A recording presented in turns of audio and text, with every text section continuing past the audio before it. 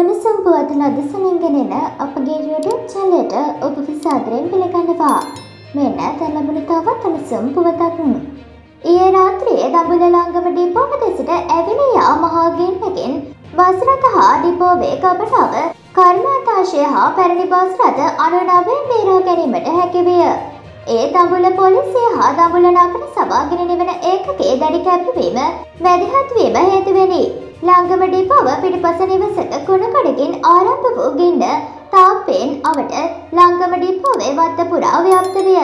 මෙම ගින්න ගබඩාව සංකීර්ණය පැත්තට යොමු වන බවට දඹුල්ල ඩිපෝවේ කළමනාකරු හා සේවකයින් දැක දඹුල්ල පොලිසිය හා නගර සභාවේ සහන ඉල්ලා ඇති අතර ඒ ඇසිල්ලකින් ක්‍රියාත්මක වූ පොලිසිය දඹුල්ල නගර සභාවේ ගෙන නිවන ඒකක දැනුවත් කර ගින්න පැයකින් පමණ වූ දැඩි වෙහෙසකින් පසුව ගින්න නිවා දමන ලදී.